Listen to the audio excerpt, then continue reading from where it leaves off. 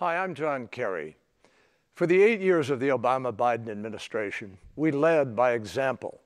We eliminated the threat of an Iran with a nuclear weapon. We built a 68 nation coalition to destroy ISIS. We forged a 195 nation agreement to attack climate change. We stopped Ebola before it became a pandemic. Donald Trump inherited a growing economy and a more peaceful world. And like everything else he inherited, he bankrupted it. When this president goes overseas, it isn't a goodwill mission, it's a blooper reel. He breaks up with our allies and writes love letters to dictators. America deserves a president who is looked up to, not laughed at. Donald Trump pretends Russia didn't attack our elections, and now he does nothing about Russia putting a bounty on our troops. So he won't defend our country, he doesn't know how to defend our troops. The only person he's interested in defending is himself.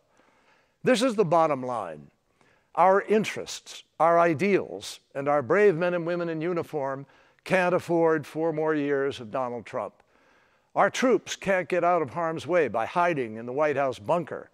They need a president who will stand up for them, and President Biden will. Joe's moral compass has always pointed in the right direction, from the fight to break the back of apartheid to the struggle to wake up the world to genocide in the Balkans.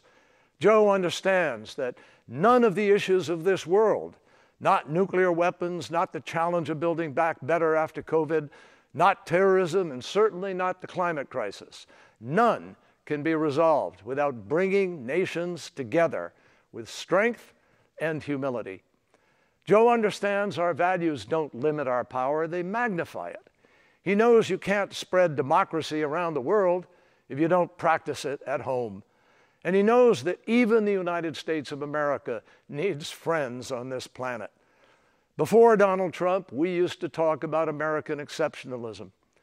The only thing exceptional about the incoherent Trump foreign policy is that it has made our nation more isolated than ever before. Joe Biden knows we aren't exceptional because we bluster that we are. We are exceptional because we do exceptional things. On June 6, 1944, young Americans gave their lives on the beaches of Normandy to liberate the world from tyranny. Out of the ashes of that war, we made peace and rebuilt the world.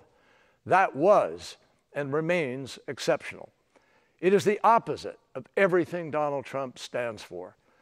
This moment is a fight for the security of America and the world.